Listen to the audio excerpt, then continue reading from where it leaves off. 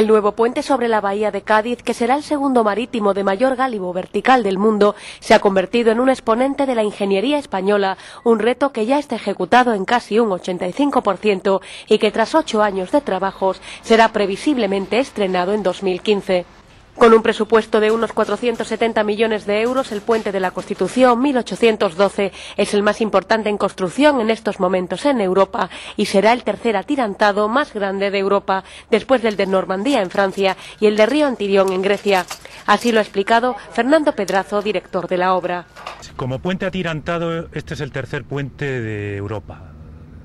Realmente estamos hablando de una obra puntera después del puente de Normandía, que ya es un puente también de cierta magnitud, y, otro que existe en Grecia, este es el tercero de Europa como atirantado. Eso demuestra que, no hay muchos antecedentes en nuestro entorno al cual podamos referirnos. Evidentemente la ingeniería pues, tiene capacidad de, hacer previsiones, pero son obras prototipo. Con una longitud de 5 kilómetros y una altura de 69 metros desde el tablero al agua, será también el segundo puente marítimo de mayor gálibo vertical del mundo, después del de Berrazano de Nueva York y por delante del Golden Gate de San Francisco.